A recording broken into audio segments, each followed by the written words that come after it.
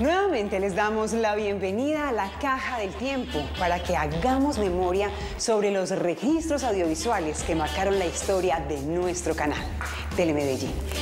Hoy nuestra caja se abre en el año 2000 para recorrer juntos las calles y rincones de la ciudad mediante el programa Ciudad Contada en un capítulo sobre las iglesias de Medellín, nos mostró su arquitectura, el arte religioso y su impacto en las comunidades donde estuvo presente la directora Dora Elena Patiño.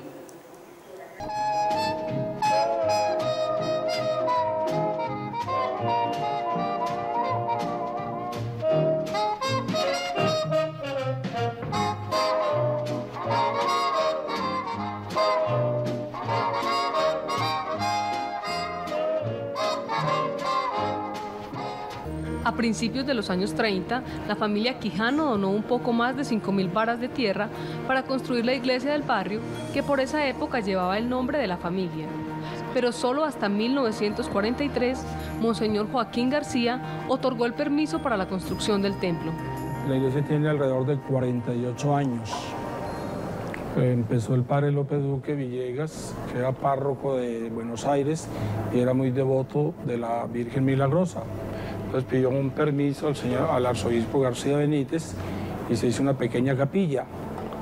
Eh, fue progresando, una familia quijano de nuestros terrenos donde, está el templo y el 28 de agosto de 1951 el decreto del señor García Benítez junto con otras 17 parroquias la creó como ya personalidad jurídica como parroquia. El primer párroco del lugar fue el padre Liborio Restrepo Uribe, nombrado por medio del decreto arzobispal del 3 de mayo de 1947. Él fue quien inició las labores de construcción de la monumental iglesia. Es un estilo gótico ojival, como usted puede ver, eh, los arcos y los altares eh, están en actitud orante, dos manos juntas. Por eso, si usted se hace arriba en el presbiterio y viene abajo, nota que eh, la iglesia es más grande de lo que parece porque el arco se desenvuelve. Entonces, este es el famoso ah, gótico ojival. La belleza de la arquitectura se complementa con los detalles de decoración del templo. Dentro del arte religioso se destacan sus hermosos vitrales. El Via Cruz, mejor, es, son vitrales franceses. Los otros, el vitral grande de la Milagrosa, que es el más hermoso, eh, ese sí es colombiano. Pero los otros vitrales, los que están arriba, arriba, que representan el misterio del Rosario, otro de María Auxiliadora y otro de la Magrama de la Auxiliadora, son hechos por un artista antioqueño, don Pedro Claver Ramírez. Y como usted ve, pues poco tiene que envidiarle a los extranjeros. Entre las imágenes religiosas sobresalen por su belleza la Inmaculada que está al lado del presbiterio, la imagen de María Auxiliadora y la Milagrosa, la patrona de la iglesia, ubicada en el centro del altar. Representa la aparición de la Virgen María Santa Catalina Laburé, cuando ella, la Virgen, le entrega la medalla que la gente llama milagrosa. Eh, por un lado tiene la Virgen con las manos extendidas, se prenden rayos de ella que simbolizan la gracia que la Virgen derrama, son los que la invocan. Por detrás está una magrama donde está la M María, la cruz Cristo, dos corazones, de la Virgen y Jesús, y termina con una cruz, la Virgen corredentora asociada a la obra redentora de Cristo. Entonces esta medalla, que la Virgen misma manda que se haga, es la única medalla oficial de la Iglesia Católica. Hay medallas muy lindas y muy santas, pero esta es la oficial. Las apariciones a las que hace referencia la Milagrosa ocurrieron en la capilla de la calle Bac en París en 1830. El 27 de noviembre fue el día en que la Virgen entregó la medalla y es el día de la patrona. Se hace una novena con procesión todos los días de los distintos sectores de la parroquia que confluyen al templo y ese día es el día en que se celebra esa entrega de la Santísima Virgen a Santa Catalina la medalla y se hace la consagración a la Virgen Milagrosa y es la fiesta principal, 27 de noviembre.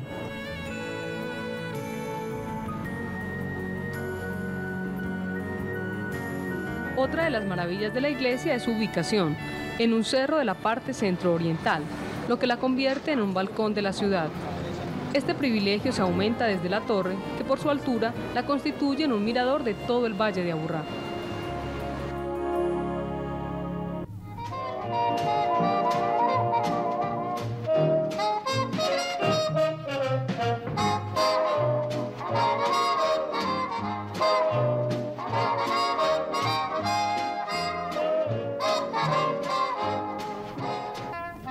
El cambio de siglo le dio al padre Sabino Giraldo las fuerzas necesarias para soñar en grande. Quería construir un hermoso templo para el barrio de Buenos Aires. En 1902 se inició la construcción de la iglesia de Nuestra Señora del Sagrado Corazón de Jesús. Las obras estuvieron paralizadas durante 28 años. Al frente de la reiniciación de la construcción estuvo el padre Luis Ricardo Gaviria, quien incluso pidió limosna en la plaza de mercado para recolectar el dinero necesario y terminar el templo. 31. Cuando fue erigida la parroquia, encargado un padre Duque, y estuvo poco tiempo, organizó la, la parroquia y después estuvo el famoso padre López Duque, extraordinario predicador, sacerdote sumamente virtuoso que estuvo por un tiempo de 15 años. Y hubo unos párrocos extraordinarios, maravillosos.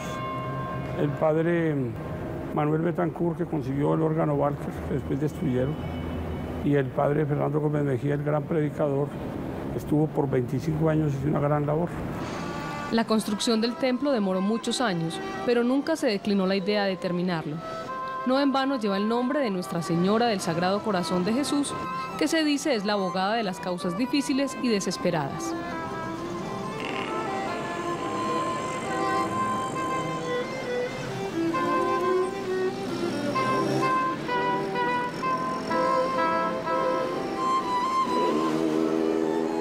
Propiamente hablando, es un estilo neogótico, muy notable, muy bien logrado el gótico, pero que incluye elementos triosos en su construcción.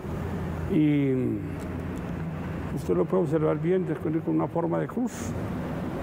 Eh, tiene obras muy extraordinarias. Por ejemplo, el retablo de mármol gótico, muy pocos hay en Colombia. Eh, está recién brillado, estaban los hongos preguntándolo mucho. Eh, los vitrales con las letanías lauretanas, son franceses, están también reparados. Y los eh, lienzos del Via Crucis de Georges Brasser, una obra muy notable de puntillismo religioso. Eh, les cuento que recientemente vinieron de, Bélgica, porque yo motivé a una señorita que, señorita que estuvo aquí haciendo un estudio de antropología y le dije, mire esta obra, y ella la observó con mucha atención, después volvió con otro belga, George Bracera de Bélgica, y concluyeron que esa era la mejor obra del pintor.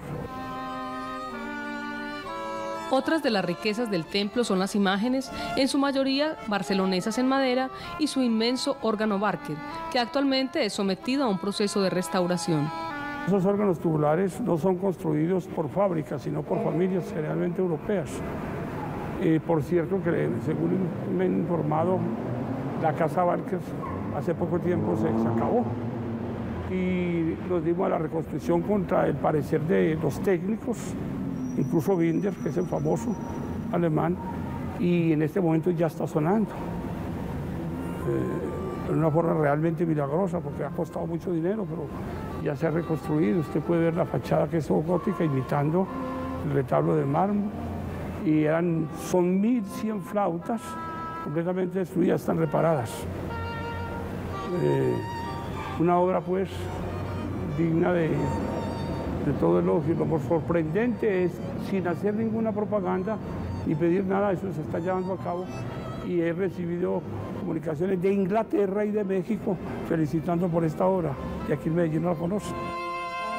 Muy cerca del centro de Medellín, en un altico de la calle Ayacucho, está la iglesia de Nuestra Señora del Sagrado Corazón de Jesús, que brinda paz a los devotos en medio de una serie de riquezas arquitectónicas y artísticas.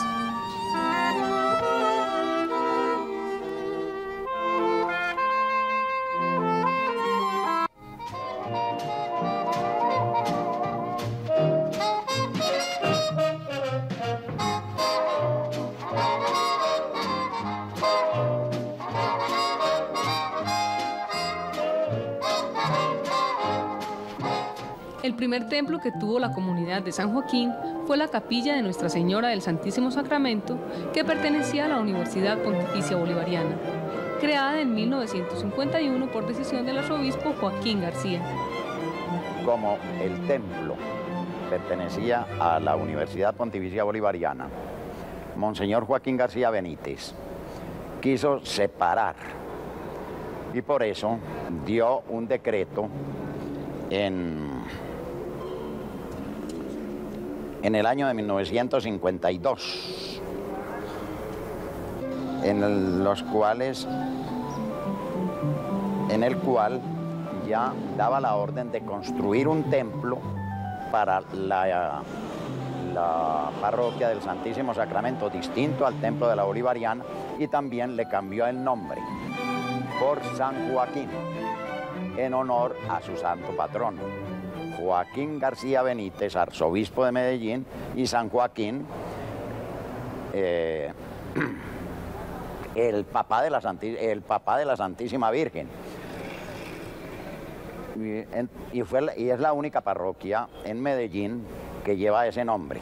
Luego, no ya por decreto, porque yo creo que no necesita decreto, con la reforma del calendario litúrgico hecha por el Concilio Vaticano II en la Constitución Apostólica Sacrosantum Concilium, Sacrosanto Concilio, se unen la celebración de la fiesta de San Joaquín y de Santa Ana, los padres de la Santísima Virgen. Entonces ya pudiéramos decir que la parroquia se llama la parroquia de San Joaquín y de Santa Ana. El primer párroco que tuvo la iglesia fue el padre Jorge González Villegas, quien estuvo al frente del templo casi 30 años. Incluso le tocó la transición de la capilla del Santísimo Sacramento a la iglesia de San Joaquín. Fue precisamente el padre González quien llevó al lugar la devoción de la medalla milagrosa, a quien le encomendó una de las capillas laterales del templo, que es uno de los sitios más hermosos del lugar. Otra de las riquezas de la iglesia es el cuadro de San Joaquín, Santa Ana y la Virgen María, que se encuentra en el centro del altar cuadro bellísimo y sobre todo el significado. Podemos verlo perfectamente. Cómo está San Joaquín en la parte de atrás, pensativo, mientras Santa Ana está eh, dándole clases a la Santísima Virgen y no clases de cualquier cosa yo creo que le estaba explicando el Antiguo Testamento, la Sagrada Escritura. Y vemos cómo con el dedo índice le está señalando el camino, el sendero, la ruta que ella tiene que seguir. Y vemos la niña María sentada, muy atenta, escuchando esas clases que pudiéramos decir hoy de catecismo de su mamá. Es el gran valor de la familia. Una de las obras de arte de más reciente adquisición es un vaciado del Sermón de la Montaña, cuya maqueta fue elaborada por el escultor antioqueño Alberto Restrepo. Esos vitrales, no sé quién sea el autor. No sé quién sea el autor. Lo, que sí, lo único que yo sé del poquito arte que yo tengo es que son una verdadera belleza. Son los vitrales que hay en las eh, ventanas, en las ventanas del templo son 14 ventanas y entonces sobre ellas se pintaron las 14 estaciones a modo de, vitrales. Son una verdadera belleza. Y que en este templo no sabe uno verdaderamente qué, qué es lo más bello que tiene, porque es descrestante por su tamaño, por su estructura, por su calidad, por su armonía, por su brillantez, por el aseo con que se mantiene actualmente. Bueno, no sabe uno qué, qué detallar. Pero definitivamente una de las grandes joyas del templo la constituye el órgano tubular comprado en Alemania en 1964 y que fue sometido a un minucioso proceso de mantenimiento hace tres años está funcionando perfectamente y se usa todos los días para las funciones litúrgicas, las tres misas que se celebran, aquí las eh, seis o las cinco que hay los domingos, los sábados, perdón, y las siete que hay los domingos. El órgano no es otro elemento más de la iglesia, es una parte estructural. Fue construido especialmente para el templo de San Joaquín guardando los lineamientos de su arquitectura bizantina y de sus hermosos vitrales.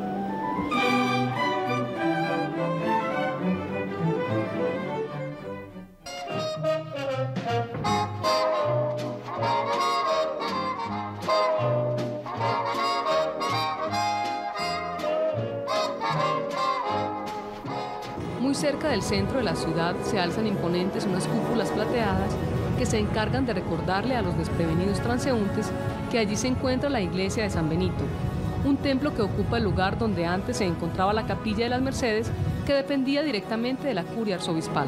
En 1900 me pidió, estaba esa capillita y ahí le pidió permiso precisamente eh, el padre superior de ese tiempo, un padre Guevara, le pidió permiso al arzobispo de ese entonces para eh, mm, tener la capillita, administrarla. Entonces un poco de tiempo después ya eh, ya este padre pues fue como viendo que valía la pena construir aquí una iglesia, porque esa era más casi, casi que pajiza. Entonces empezaron la iglesia, la construcción del templo. Esa la, la empezó el padre Nicolás Perea. San Benito fue uno de los mejores barrios de la ciudad y su iglesia una de las más concurridas. Los primeros viernes eran interminables las filas de los fieles que esperaban ser confesados. También era famosa la oración nocturna cuando la iglesia permanecía abierta durante toda la noche. De la estación Cisneros salía el ferrocarril y venía, pasaba por aquí, por eso se llama la avenida del ferrocarril, quedó con ese nombre, y seguía todo esto aquí hacia adelante. Y donde está hoy la minorista, ahí al frente, venía a quedar la estación Villa, la primera estación del viaje que hacía el, el ferrocarril de Antioquia hacia Puerto Berrío después seguían Iquía y las otras estaciones, Barbosa, etcétera, de esos tiempos. Aquí en este San Benito, entonces, eh, como esto todo era mangas, esto había una misa especial que era a las cuatro y media de la mañana el padre ya murió, pues es el que decía esa misa y era la misa de los cazadores. Esto era una misa con perros de casa y de todo, porque todos salían de aquí, venían a esta misa y se iban allí a la estación Villa a coger el tren para ir por allá a sus eh, cisneros o por allá a sus mm, pescas y todo lo demás. La iglesia de San Benito ya tiene 75 años. Fue construida en estilo románico, formando una cruz con las naves laterales y sostenida por grandes columnas. Le fue encomendada a San Benito de Palermo, un santo moreno de la comunidad franciscana nacido en Italia, pero muchas personas creen que el santo patrono es San Benito de Abad. Aquí hay una devoción que tiene la gente y es un peregrinaje constante para pedir la medalla de San Benito. Pero no es la de este San Benito de nosotros, sino que es la de San Benito Abad, el abad de los benedictinos, que él tenía su monasterio en Montecassino, en Italia, que eso lo destruyó la guerra y solo quedó sirviendo la celda donde San Benito Abad escribió la regla para los benedictinos. Entonces ese San Benito Abad, ese sí lo tenemos en la nave eh, aquí de este lado. Eh, y la gente viene a eso porque le tiene mucha devoción a la medalla de San Benito. El gran movimiento en la iglesia y en la casa cural lo ocasiona la fe de muchas personas que llegan hasta allí para comprar la medalla de San Benito. La comunidad franciscana decidió respetar las creencias populares y por eso en la iglesia están las imágenes de San Benito de Palermo, el patrono, y de San Benito de Abad. También respetó el recuerdo de la antigua capilla. Allí hay dos imágenes de la Virgen de las Mercedes, una de las joyas religiosas del templo es la que recuerda al padre de la comunidad, San Francisco de Asís. En el centro del altar se ve la imagen de San Francisco cuando es llevado al cielo por los ángeles.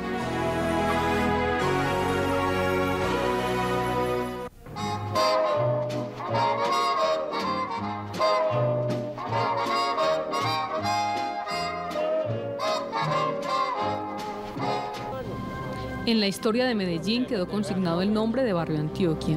Esa es una prueba de la fuerza de la costumbre. Pocas personas saben de los otros nombres que ha tenido el lugar, pero el barrio es Trinidad. Así se llama hace ya casi 50 años, un nombre tomado de la entonces naciente parroquia. La parroquia se inició el 15 de septiembre del año 1951 con el párroco Abel Díaz sale él y viene el padre Mario Morales, que todavía está vivo, fue quien empezó la construcción física de este templo. El lote en que se construyó el templo costó 2.900 pesos. Era bastante lagunoso, por eso la primera etapa de la construcción fue drenar el terreno. Lo pantanoso del lugar también obligó a la construcción de grandes cimientos e inmensas columnas para sostener la moderna arquitectura del templo. Es un salón moderno con visos eh, sagrados como son por ejemplo los ventanales, como son por ejemplo los corredores para aglomerar gentes en días muy espaciosos y numerosos en fiestas litúrgicas del año como Semana Santa, fiestas patronales.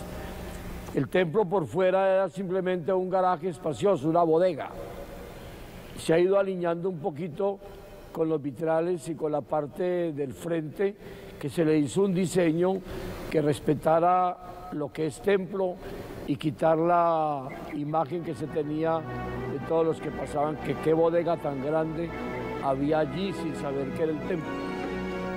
Los colores verde, rojo y amarillo de los 123 vitrales rectangulares fueron los encargados de darle a los exteriores del templo el toque de lugar sagrado. Pero el objetivo de la parroquia es construir una torre con reloj tan grande como las proximidades del aeropuerto lo permitan. La idea es que el exterior del templo sea tan hermoso como su interior podemos encontrar imágenes preciosísimas, todas de madera, que son imágenes que valen la pena como, como joyas en la imaginería sagrada de los templos. Hay imágenes preciosas como la Virgen del Perpetuo Socorro, como la Virgen del Carmen, como el corazón de Jesús, imágenes de madera y preciosas. En el centro del altar está la imagen de la Trinidad, que este año fue renovada. Se cambiaron el sol y la paloma que representa al Espíritu Santo. Esta imagen trinitaria siempre ha presidido el templo, aunque no siempre ha estado en el mismo lugar. La lucha tenaz que hubo que tener con el pueblo católico del barrio Trinidad, cuando tuvimos que pasar de la mitad del templo, el altar, a donde está ahora, porque este altar que hay allí me tocó a mí dirigirlo de acuerdo con el ingeniero Edwin Mm, hacer este presbiterio que tiene apenas cuatro años, porque toda la vida, hasta esa fecha, cuando destruimos este presbiterio, era atravesado, era en la mitad del templo, es decir, allá era el, era el presbiterio. En el lugar donde estuvo por años el presbiterio, hoy está el Calvario, que es uno de los sitios más visitados por los devotos y que conserva la arquitectura original un recuerdo del sitio desde el cual miles de fieles escucharon la Eucaristía.